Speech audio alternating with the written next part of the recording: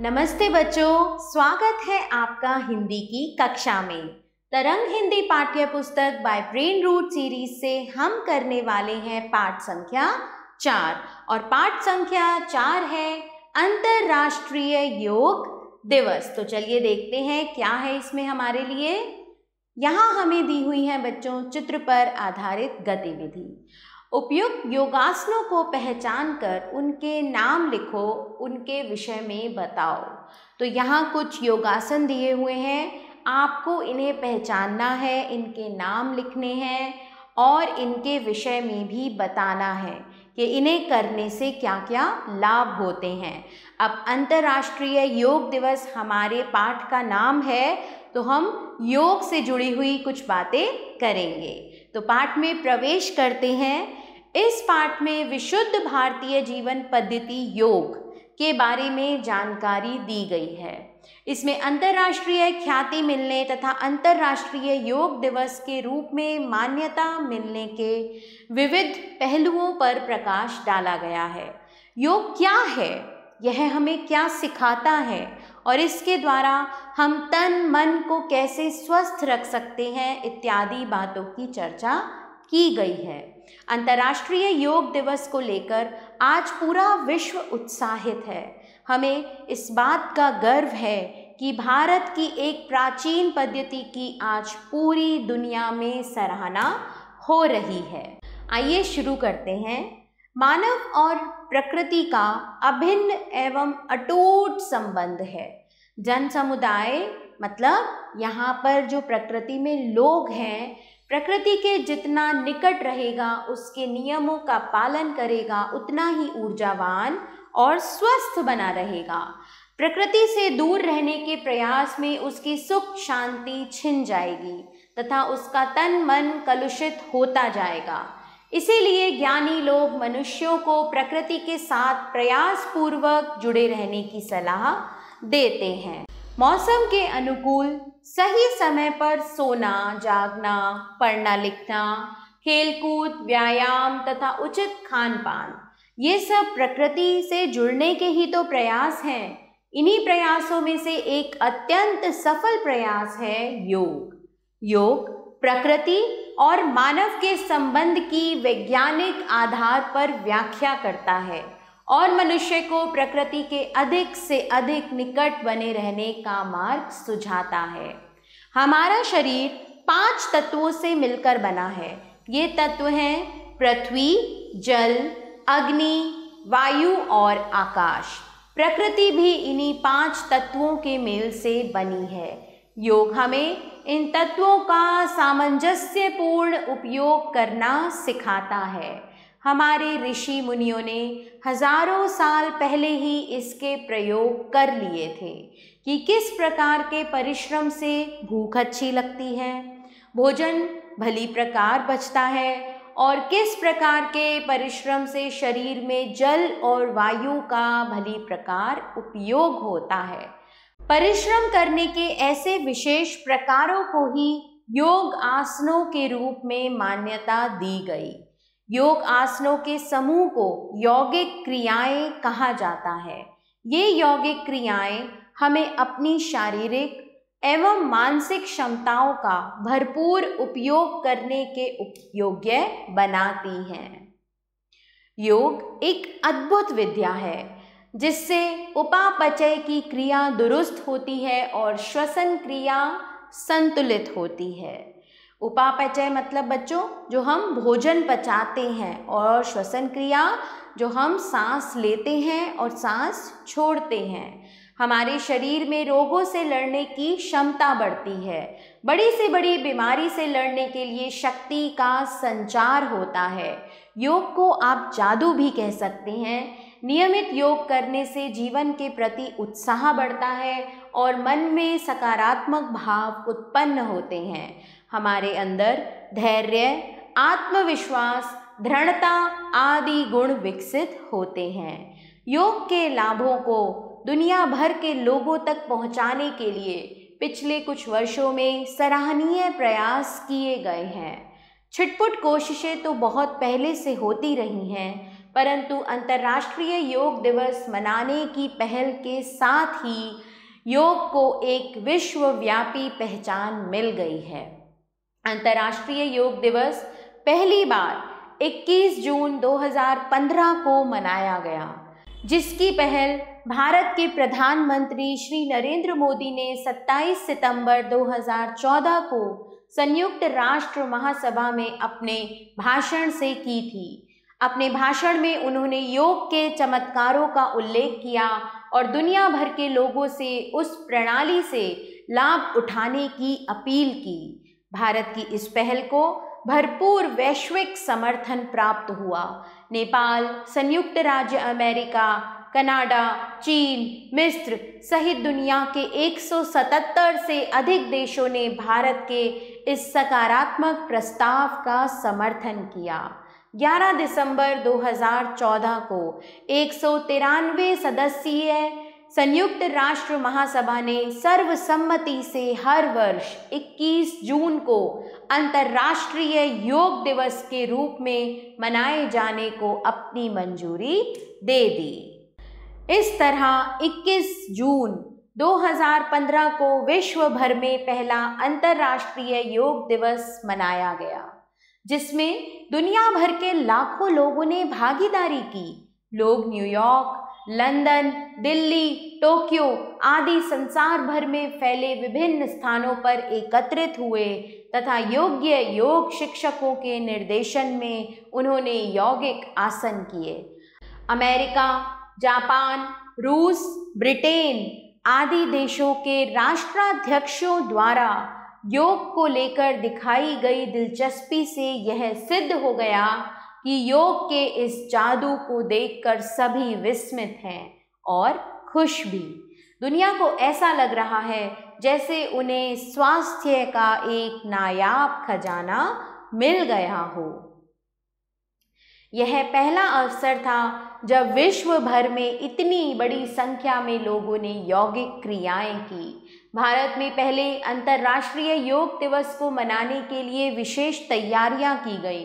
योग दिवस का मुख्य समारोह दिल्ली में आयोजित किया गया, जिसमें लगभग छत्तीस हज़ार लोगों ने भाग लिया। प्रधानमंत्री श्री नरेंद्र मोदी न केवल इस कार्यक्रम में शामिल हुए, बल्कि उन्होंने अग्रिम पंक्ति में बैठकर सब लोगों के साथ योग भी किया।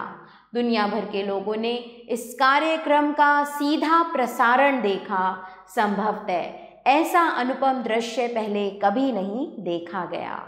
राजपथ पर हुए इस समारोह ने दो गिनीज वर्ल्ड रिकॉर्ड्स की स्थापना की। एक तो दुनिया की सबसे बड़ी योग क्लास यानी पैंतीस हज़ार नौ सौ पिचासी लोगों द्वारा एक साथ योगाभ्यास करना और दूसरा चौरासी देशों के लोगों द्वारा एक साथ भाग लेने का रिकॉर्ड। पहले अंतर्राष्ट्रीय योग दिवस के उपलक्ष्य में भारत की तत्कालीन विदेश मंत्री श्रीमती सुषमा स्वराज ने संयुक्त राष्ट्र में आयोजित समारोह की अध्यक्षता की। टाइम स्क्वायर से पूरी दुनिया के दर्शकों के लिए इसका प्रसारण किया गया। इससे संपूर्ण विश्व में लोगों में योग के प्रति समझ बढ़ी। दूसरा अंतर्राष्ट्रीय योग दिवस भी पूरी दुनिया में पूरे उत्साह के साथ मनाया गया। भारत के आयुष मंत्रालय द्वारा सभी सरकारी विभागों को पत्र जारी कर दूसरे अंतर्राष्ट्रीय योग दिवस को ज़ोर शोर से मनाने तथा इसमें युवाओं की अधिकाधिक भागीदारी पर बल दिया गया। 21 जून 2016 को आयुष मंत्रालय ने the national event of mass yoga demonstration नामक एक समारोह का आयोजन चंडीगढ़ में किया था, जिसमें अन्य लोगों के साथ भारत के प्रधानमंत्री नरेंद्र मोदी ने भी भाग लिया था।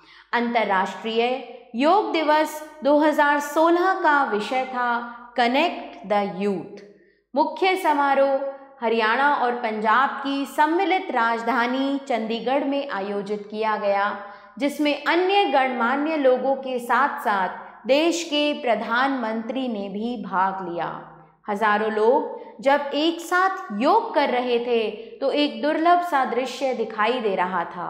विभिन्न राज्यों की राजधानियों तथा अन्य स्थानों में भी राजनेताओं और आम लोगों ने भी एक साथ बैठकर योगासनों को संपन्न किया।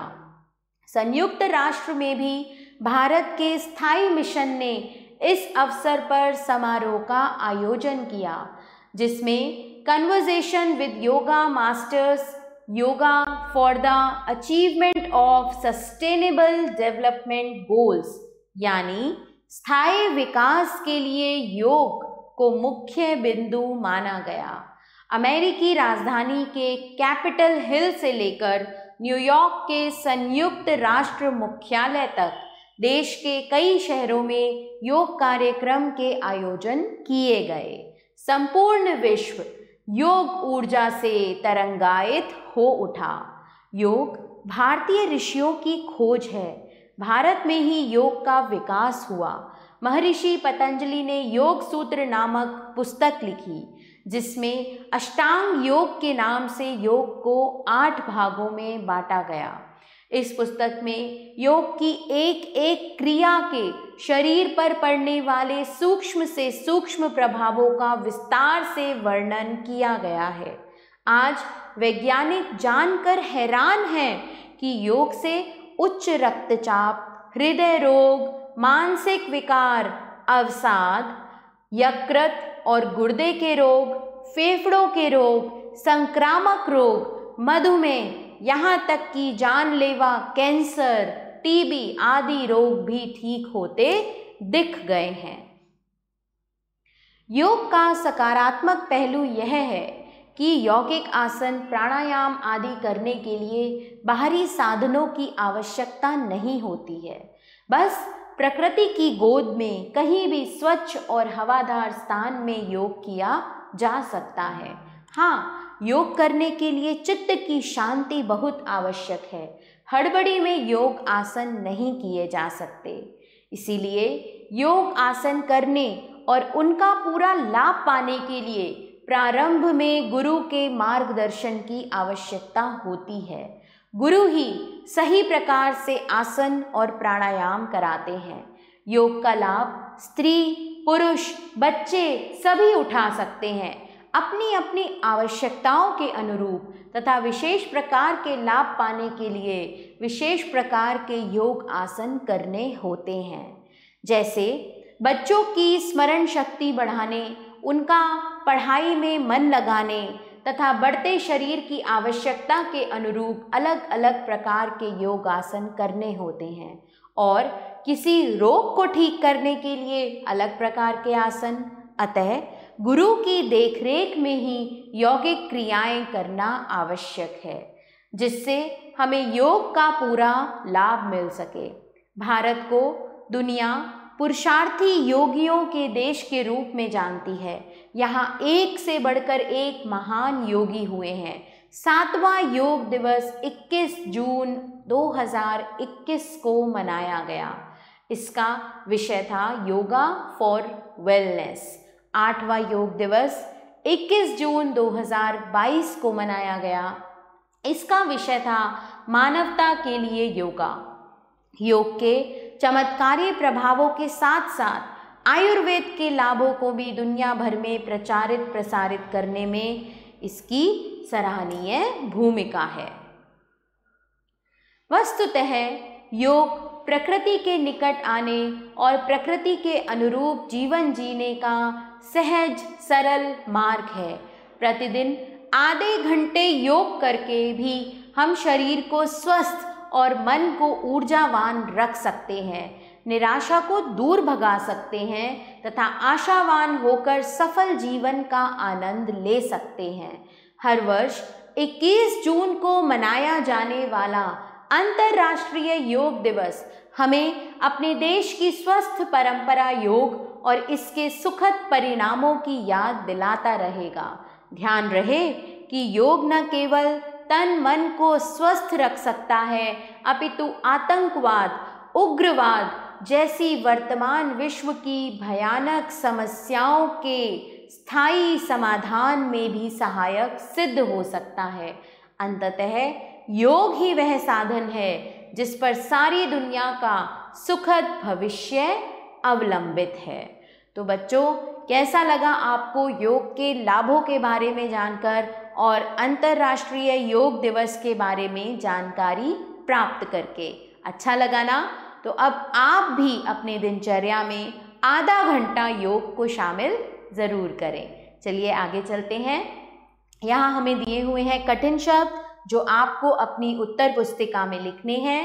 प्रकृति, अभिन्न, अटूट, जन समुदाय, ऊर्जावान, अनुकूल, व्याख्या, सामंजस्यपूर्ण, क्षमताओं, उपापयच। आगे हमें दिए हुए हैं कुछ शब्द अर्थ जो आपको याद भी करने हैं और अपनी पाठ्य पुस्तिका में भी लिखने हैं। अभिन्न का अर्थ है गहराई से जुड़ा, अनिवार्य। सीधा प्रसारण, जिस समय कार्यक्रम आयोजित किया जा रहा है, उसी समय दिखाना। ऊर्जावान, चुस्ती फूर्ति से भरपूर। उपलक्ष्य, अवसर, व्याख्या वर्णन, किसी के बारे में विस्तार से समझाना। तरंगायित, तरंग के रूप में फैलना, प्रसारित। सामंजस्यपूर्ण, तालमेल बिठाना। जानलेवा, घातक, प्राण लेने वाला उपापचय, शरीर में होने वाली रासायनिक अभिक्रिया। मार्गदर्शन, सही रास्ता दिखाना, प्रेरणा देना। सर्वसम्मति, सबकी सहमति। सराहनीय, प्रशंसा के योग्य। विस्मित, हैरान, अवलंबित, निर्भर, आश्रित। नायाब, अनूठा। तो बच्चों, ये आपको याद भी करने हैं और अपनी उत्तर पुस्तिका में लिखना आप नहीं भूलेंगे। तो चलिए हम करते हैं अभ्यास कार्य। बताओ, क्या पढ़ा? प्रश्न नंबर क है। मानव का प्रकृति से किस प्रकार का संबंध है? मानव का प्रकृति से अटूट और अभिन्न संबंध है। जन समुदाय जितना प्रकृति के निकट रहेगा और उसके नियमों का पालन करेगा, उतना ही ऊर्जावान और स्वस्थ बना रहेगा। यदि मनुष्य प्रकृति से दूर हो जाएगा तो उसका तन मन कलुषित होता जाएगा। इसीलिए हमारे ज्ञानी लोग मनुष्यों को हमेशा प्रकृति से जुड़े रहने की सलाह देते हैं। मनुष्य को प्रकृति के अधिक से अधिक समीप बने रहने का मार्ग कौन सुझाता है? योग, मनुष्य और प्रकृति के संबंध की वैज्ञानिक आधार पर व्याख्या करता है और मनुष्य को प्रकृति के अधिक से अधिक समीप बने रहने का मार्ग सुझाता है। हमारा शरीर कितने और कौन कौन से तत्वों से मिलकर बना है? हमारा शरीर पाँच तत्वों से मिलकर बना है और ये तत्व हैं पृथ्वी, जल, अग्नि, वायु और आकाश। योग द्वारा कौन सी क्रिया दुरुस्त होती है? योग द्वारा उपापचय की क्रिया दुरुस्त होती है। चलिए आगे चलते हैं। सही विकल्प पर सही का चिन्ह लगाओ। योग प्रकृति तथा मानव के मध्य संबंधों की किस आधार पर व्याख्या करता है? वैज्ञानिक आधार पर व्याख्या करता है। प्रथम अंतर्राष्ट्रीय योग दिवस का मुख्य समारोह कहाँ हुआ था? दिल्ली। तो मैंने यहाँ पर नई दिल्ली पर सही का चिन्ह लगा दिया है। दूसरे अंतर्राष्ट्रीय योग दिवस का विषय क्या था? कनेक्ट द यूथ योग किन की खोज है? योग हमारे भारतीय ऋषियों की खोज है। योग सूत्र नामक पुस्तक किन की रचना है? पतंजलि की रचना है। निम्नलिखित प्रश्नों के उत्तर लिखो। पाठ में नायाब खजाना किसे कहा गया है? पाठ में नायाब खजाना स्वास्थ्य को कहा गया है। विश्व भर में प्रथम अंतर्राष्ट्रीय योग दिवस कब मनाया गया? विश्व भर में प्रथम अंतर्राष्ट्रीय योग दिवस 21 जून सन 2015 में मनाया गया। प्रथम योग दिवस का समारोह कहाँ आयोजित किया गया? प्रथम योग दिवस का समारोह नई दिल्ली में आयोजित किया गया। आठवें अंतर्राष्ट्रीय योग दिवस का विषय क्या था? आठवें अंतर्राष्ट्रीय योग दिवस का विषय था मानवता के लिए योग। योग से होने वाले फायदों का संक्षेप में वर्णन करो। योग हमारे शरीर को स्वस्थ और मन को ऊर्जावान बनाता है। योग हमारी श्वसन क्रिया को नियंत्रित करता है और हमारी उपापचय की क्रिया को दुरुस्त करता है। निराशा को दूर भगाता है और हमें आशा की ओर ले जाता है। योग हमें कई रोगों से मुक्ति दिलाने में सहायक होता है। योग हमें प्रकृति से जोड़ कर रखता है। शरीर में रोगों से लड़ने की क्षमता बढ़ती है। योग से जीवन के प्रति उत्साह बढ़ता है। हमारा मन प्रसन्न रहता है तो हम जीवन के प्रति पूर्ण रूप से उत्साहित रहते हैं। मन में योग करने से सकारात्मक भाव उत्पन्न होते हैं। हर्ष, आत्मविश्वास, दृढ़ता आदि, ये सभी गुण योग करने से हमारे अंदर विकसित होते हैं। तो ये थे बच्चों, योग से होने वाले कुछ लाभ। अंतर्राष्ट्रीय योग दिवस पहली बार कब और किस प्रकार आयोजित किया गया? अंतर्राष्ट्रीय योग दिवस पहली बार 21 जून 2015 को दिल्ली में आयोजित किया गया। इसमें न्यूयॉर्क लंदन, दिल्ली, टोक्यो आदि संसार भर में फैले विभिन्न स्थानों पर अनेक लोग एकत्रित हुए और उन्होंने प्रशिक्षित योग शिक्षकों के निर्देशन में यौगिक क्रियाएँ की। प्रथम अंतर्राष्ट्रीय योग दिवस के अवसर पर कौन से गिनीज वर्ल्ड रिकॉर्ड्स दर्ज हुए? सबसे पहला था, दुनिया की सबसे बड़ी योगा क्लास, यानी पैंतीस हज़ार नौ सौ पिचासी लोगों द्वारा एक साथ योगाभ्यास करना। और दूसरा रिकॉर्ड था, चौरासी देशों के लोगों द्वारा एक साथ भाग लेने का रिकॉर्ड। दूसरा अंतर्राष्ट्रीय योग दिवस कब, कहाँ और किस प्रकार मनाया गया? दूसरा अंतर्राष्ट्रीय योग दिवस 21 जून 2016 को चंडीगढ़ में आयोजित किया गया और इसका विषय था कनेक्ट द यूथ इस दिन आयुष मंत्रालय ने the national event of mass yoga demonstration नामक एक समारोह का आयोजन किया और जिसमें अन्य लोगों के साथ भारत के प्रधानमंत्री श्री नरेंद्र मोदी ने भी भाग लिया था। तो बच्चों, आशा करती हूँ कि अब आप सब भी अपनी दिनचर्या में से आधे घंटे का समय निकालकर योग क्रियाएँ ज़रूर करेंगे और हमेशा स्वस्थ रहेंगे। आभार मिलते हैं नए पाठ के साथ।